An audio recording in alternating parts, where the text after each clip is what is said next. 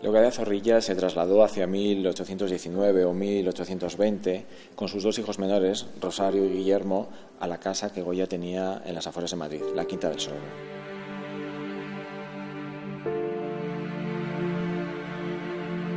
Allí, a partir de 1821, sabemos que Rosario aprendía a dibujar y a escribir a la vez con el maestro. Eh, son dibujos que se conservan, interesantes, porque muestran sus primeros pasos, muestran trazos también de su maestro entonces y muestran su estilo mm, completamente diferente de lo que luego vamos a ver tras su formación francesa.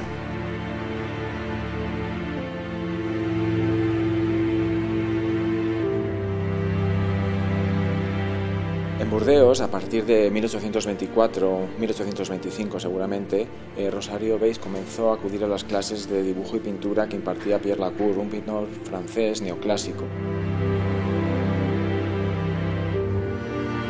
Esta obra que está a mi izquierda, de la cual tenemos por, por, suerte el dibujo previo y la litografía final, es una de las más destacadas de este periodo. Es importante por técnica, porque es una obra muy cuidada.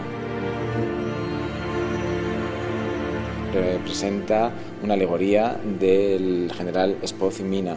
Este general liberal organizó un ejército de exiliados eh, liberales españoles que estaban en Francia para invadir la península e intentar derrocar el gobierno absolutista de Fernando VII.